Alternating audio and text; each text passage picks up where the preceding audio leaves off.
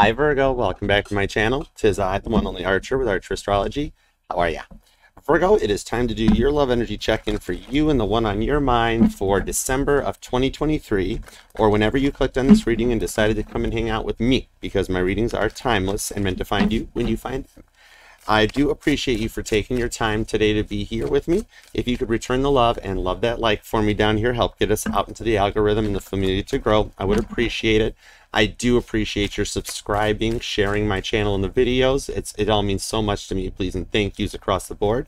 Um, subscribe, set the bell to all notifications. I do go live every Wednesday nights at 8 p.m. Eastern for an all signs from Aries to Pisces, plus a card for each sign.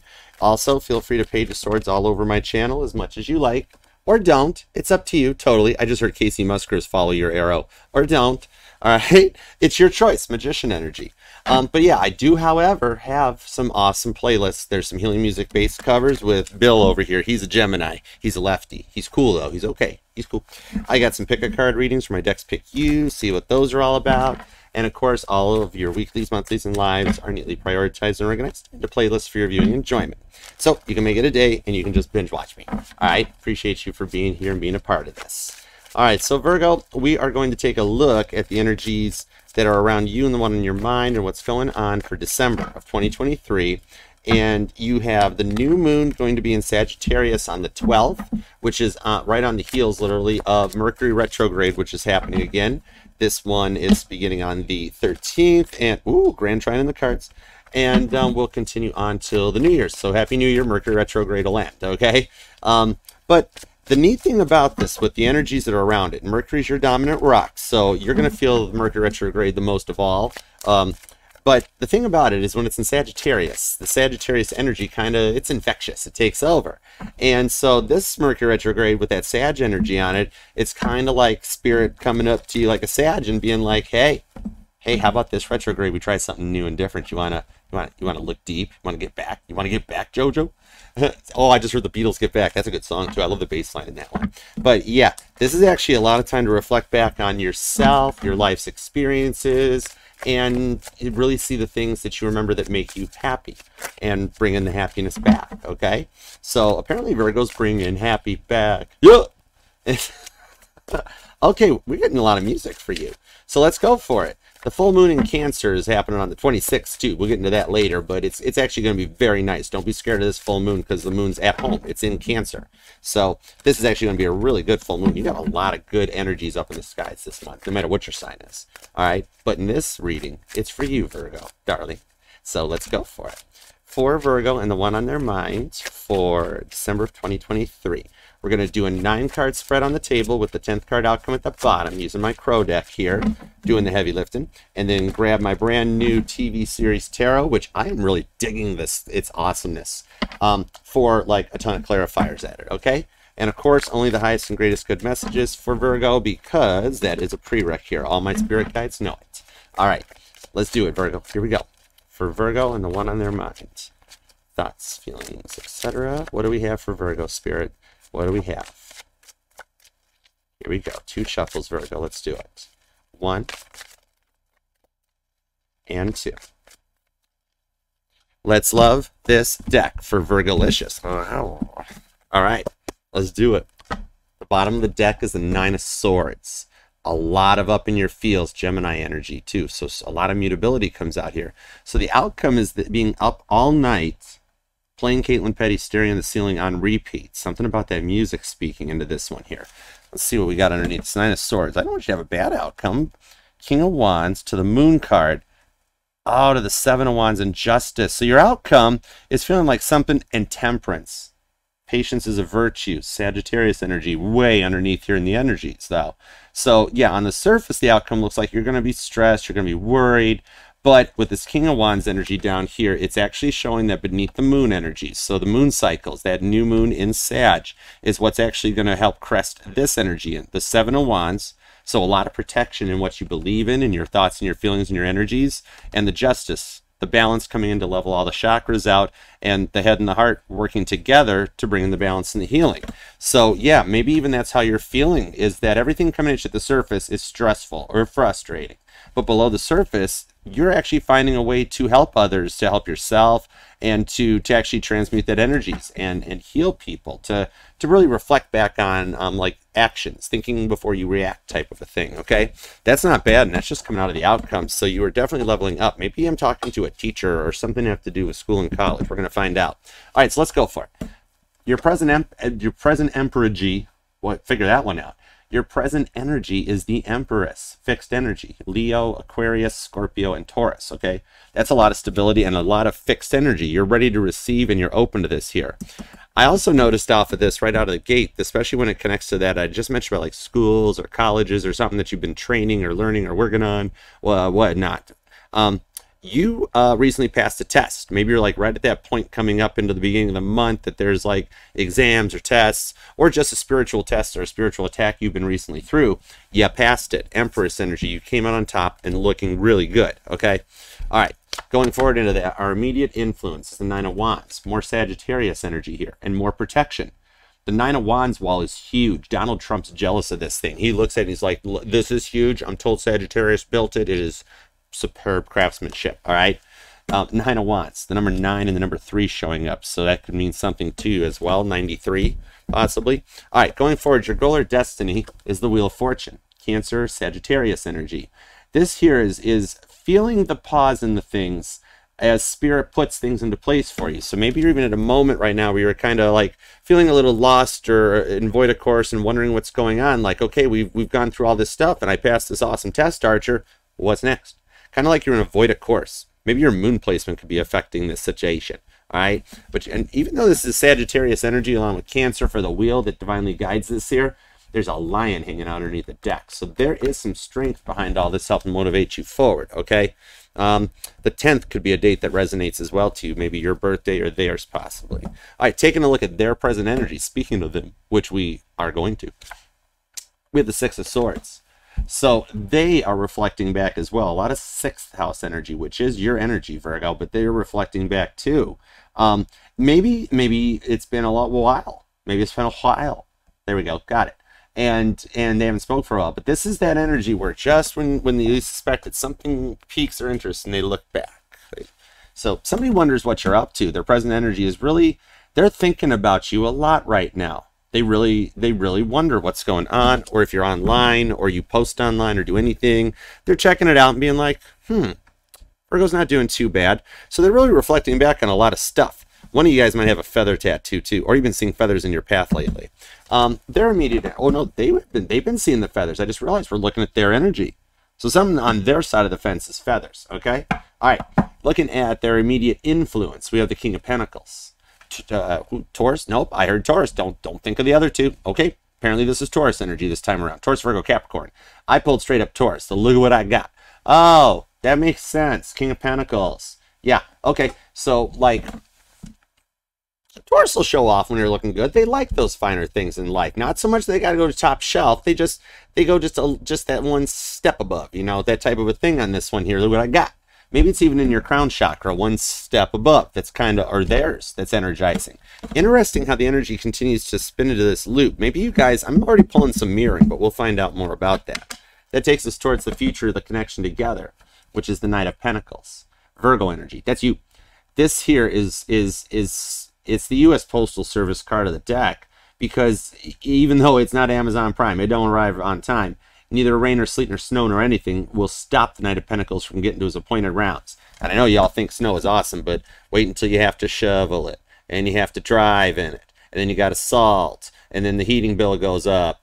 That's Virgo energy on this one. Really analyzing everything as it goes forward. So even this is what I'm pulling the future influence on. This is energy that you actually are somewhat comfortable with or adjusting to or getting familiar with. Okay. I just heard 888 hertz off of this one too. So we're going to find out some more about that as we go along. But um, okay, going forward, what's the incoming energy that's getting into this tried, tested, true? You, it's dude, you both actually believe in this connection an awful lot. Nice, I like that. Yeah, say it here and it comes out here. King of Cups. The incoming energy is an unconditional love and more mutable energy. Pisces energy on this one. Your mutable signs, the third decan of each sign, and that point of the the adaptability to change before the sun enters into another sign, is is the mutable energy of Pisces, you, Gemini, and Virgo. All right. So this shows an unconditional love that's coming in. It looks like we're seeing a lot of energy around the new moon cycle pulling in here on the incoming energy. So um, that's around the 12th or, or, around the new moon in Sagittarius energy on this. Sag and Pisces, I'm thinking at this point. I just heard baby shark too. So something may have, there might be children or kiddos affecting the situation. We're going to find out. All right. Anyhow, the environmental factors around this is the Seven of Cups. Balancing the chakras out. That is actually 8 8 hertz I pulled. Now, granted, this can be options where, where you, you feel like you have multiple options or something coming in, but with the tested, tried stability of the Knight of Pentacles, King Cups connection in this relationship, I don't see that as that. I don't see it as either of you. You guys don't want to entertain. This is something that you want to go 10 plus in, in the distance with this one, okay? So it actually levels up all the chakras. You see, you got the heart chakra, you got the solar plexus, the snake is there, the eye, all of it. All the chakras balance in. And I did mention the 888 hertz that connects to this one here. Maybe you're born on the 7th or the 8th, possibly. All right, that takes us towards the inner emotions. The death card. Scorpio energy the new beginning that rises like a phoenix out of the ashes. Literally, that's the energy of this here. It's the end of that old cycle, and the inner emotions are that you both want this new beginning, and it's the direction that it's coming for you. You got strong Scorpio energy showing up in like the the environmental factors around you, and Sagittarius as well. Okay, so you have got um, you got a lot of Sag energy. You've got some Cancer. Your mutable and fixed energy is in here. You've got Scorpio, Taurus, Aquarius, and Leo. And then you also have Gemini, Virgo, Pisces, and Gemini, Virgo, Pisces, and Sagittarius. All right. So let's see where this goes from here because it shows that a lot of thoughts have been happening. And this Nine of Swords might even be a little bit of an incoming message. And with that bird cage on there, I just heard a little birdie told me. And even on this Nine of Swords, still got the new moon energy on that one, okay? All right, so the new moon on the 12th in Sagittarius. All right, give me everything you got for the uh, the Empress card, Nine of Wands, and the Wheel of Fortune. Let's do it to it. You might be born on the 21st or the 3rd, possibly. Right there, stop point. The Four of Wands. Current energy is a wish that you're working on here. This void, of course, is allowing the energy to play out. Empress, pay out even too, in the same sense here. So whatever that you recently regarded, that pause and things that you're feeling is allowing every energy to line up like the tumblers on a lock as the key goes into it, so that you all sync and everyone gets on the same page energy. Twin flame energy comes in off of this too, which wishes being granted. And uh, maybe I literally I, I just saw this off of this here with the Glee card. Maybe I'm talking to a Virgo who just got the email about like a, a the ugly sweater contest at work for Christmas, and, and they're like, oh gosh, we got to do this one again. But I heard you're going to use the same sweater. Way to repurpose it. Nine of Wands, 9 9. Check out angel number 9 9. September 9th could be your day. Could be the day for you. But let's keep going. Two of Swords to the Seven of Swords to the Ten Cups and the Eight of Pentacles. Wow, you guys do work well together when you're on the same page. And it's a very unique connection on this Wheel of Fortune here with MacGyver and the friggin' Addams Family showing up. Don't blow up the train, Gomez. Don't. Just speak French, okay? But with the, with the two and seven of swords, you're at nine swords, which is actually sinking over to the energy at the bottom over here too. You want to have some faith in this and clear out the past and go forward onto this one so that you guys can just let bygones be bygones and move forward into the new energies here. So you're taking those five swords, took them away, putting them aside, and like, you know what, we do remember this, we know what we did, so we're not going to be like stupid about it, but we're going to leave it where it be, and let's just, let's just ace of swords and, and, and two-way this thing together on this. It's, it's, you, wow, all that air energy too on this here, this this this dreaminess. You dream of working with them. That's actually manifesting something for you. Okay, you've done a lot of hard work, just like MacGyver, including the Scotch tape and the baling wire when it was all you had. I just heard a Virgo be like, "Yep, I used a paperclip and it worked."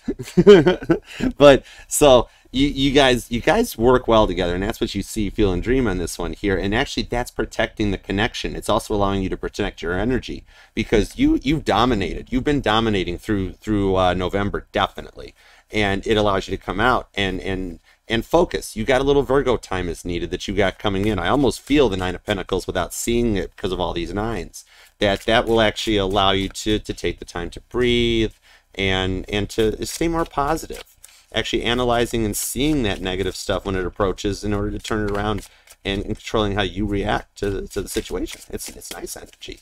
All right. The 18th could be something that resonates as well to you guys, too. I'm also seeing the 20th. All right. See, I started late on that Six of Swords and their energy, but I was still over here. So it's a crossing energy. With the Strength card, could be a Leo Virgo cusper energy on this one, too And this down here is the Queen of Cups. That's unconditional love. Could be a Cancer Leo cusper energy even off of this one here to write and tell about it. All right.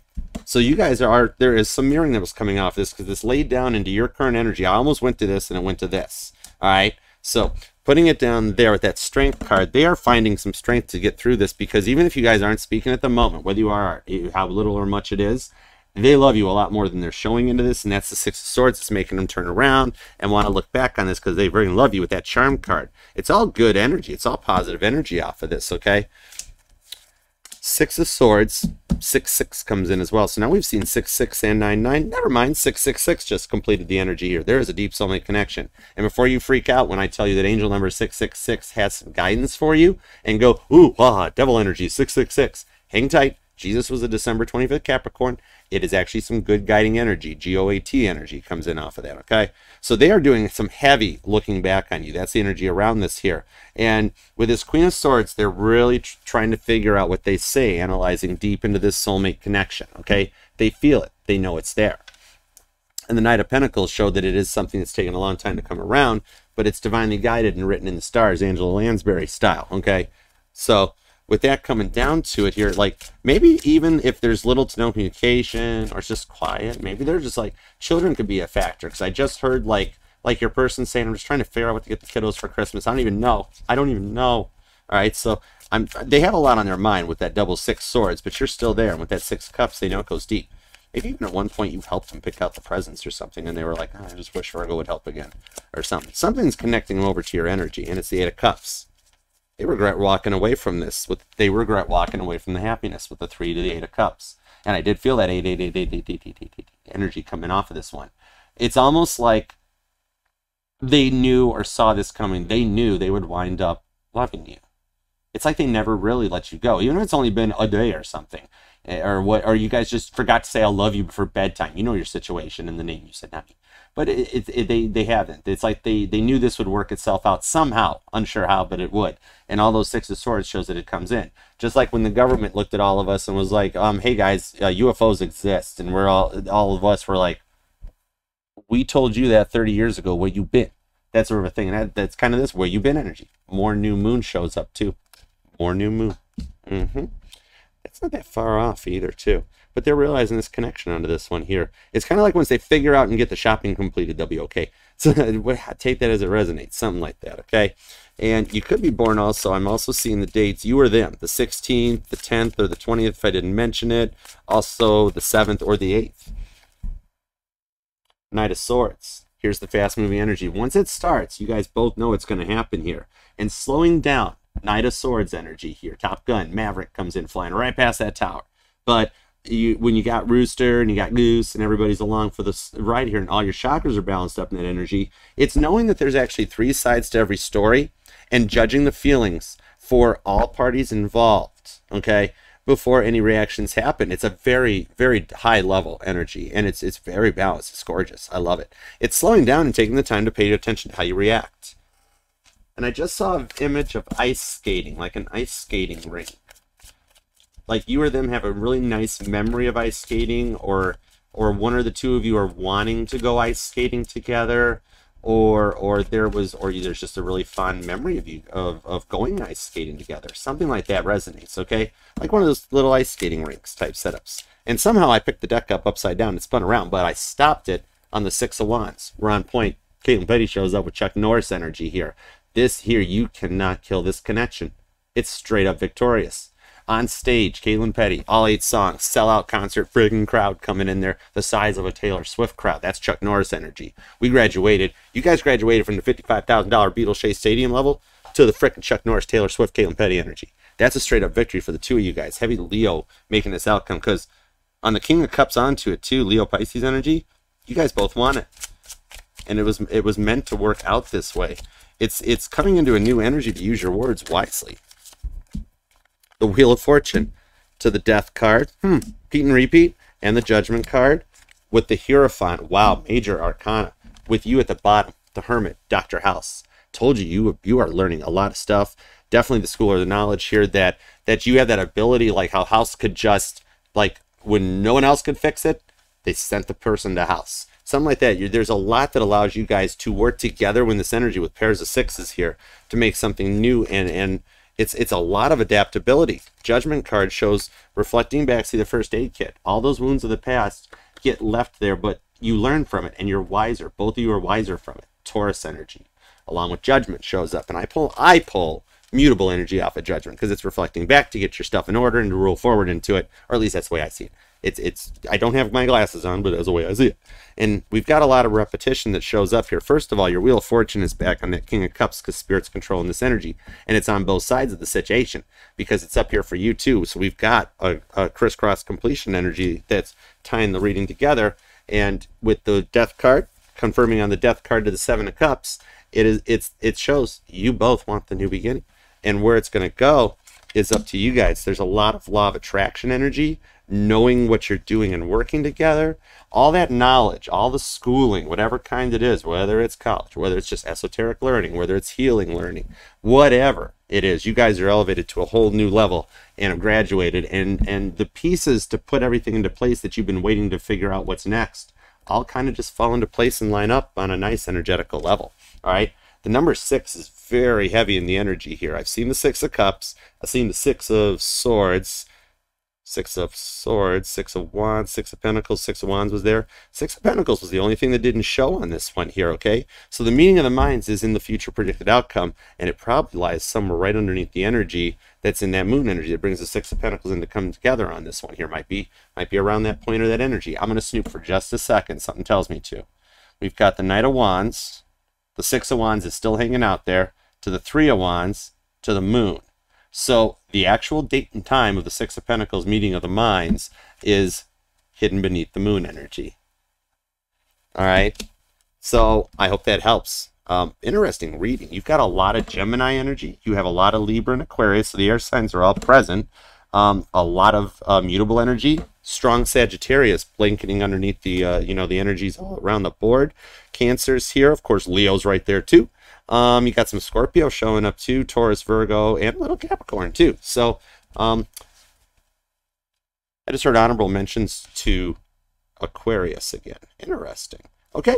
Um, but yeah, so I hope that helps. Leave a message down below in the comments section. Let me know how it resonates, how you're doing, what's going on. I appreciate you taking the time to do that. And I do, um, it takes me a little bit of time sometimes, but I do read, love, like, and respond to all the comments eventually. It's kind of Knight of Pentacles, but it, it, it, it happens. Try, tested, and true. I'm Archer. And uh, do remember that this will resonate to any and all placements within your chart of Virgo, darling, because we are not just our Sun, Moon, Rising, and Venuses, but all the parts of all our charts. And I am FHA compliant here at Archer Astrology. I'll read for anybody, any sign or placement, anyone that desires and inquires. All you got to do is ask.